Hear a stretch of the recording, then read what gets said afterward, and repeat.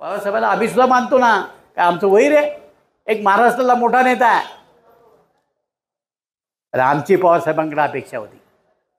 साहेब एवढं मोठं केंद्राची सत्ता तुमच्याकडे होती.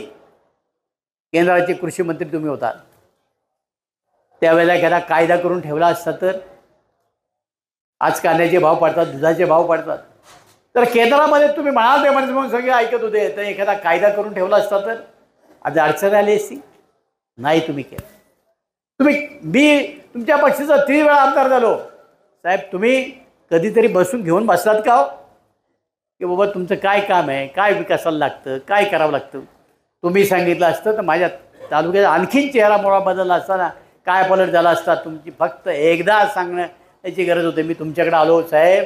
अहो, आम्ही कसे निवडून नुसता बारामतीचा विकास होऊन चालणार आहे का? आमच्या तालुक्यातले लोक आता शिकलेले आहेत व्हॉट्सअपवर बघतात फेसबुकवर बघतात.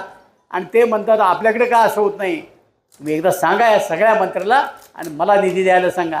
साहेब नाही सांगितलं तुम्ही. हां? का नाही सांगितलं हो? आम्ही तुमचं नेतृत्व मांडलं तुम्ही म्हणाल ते प्रमाण आम्ही मांडलं. तुमच्या शब्दाच्या बाहेर गेलो नाही.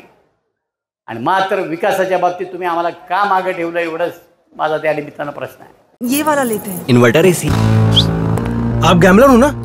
गैम्बलर जुआ खेलते हो ना? तुम जुआ खेलते हो? अरे नहीं ये तो कुछ भी बोले जा रहे हैं। इतनी महँगी और नाजुक एसी खरीद कर स्टेबलाइजर नहीं लोगे तो ये जुआ नहीं हुआ तो क्या हुआ? सिर्फ़ एक फ्लक्चुएशन आपके इन्वर्टर एसी के पार्ट्स को डैमेज कर सकता है। उसे वी गार्ड से सुरक्षित रखिए। V Guard India number one stabiliser समाजसेवक असतो जो खरा नेता असतो त्याची जनतेशी नाळ असते. अरे पडलो तरी बेहतर. चल तुझे कामं मी करतो. केली का नाही?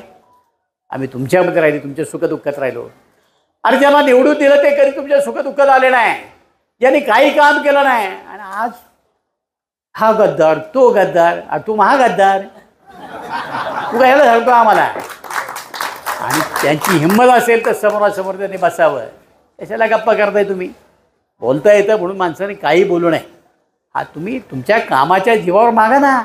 काय म्हणायचो? की मी देण्याकरता एवढा कोट्यावधी रुपयाचा निधी आणला मला तुम्ही मतं द्या. काय हरकत आहे? दिलीप मोहिते इथं सांगतो मी हो देण्याकरता हे काम केलं ते काम केलं आणि म्हणून तुमच्याकडे आहे मतं मागतो आहे हे तर बरोबर आहे का नाही?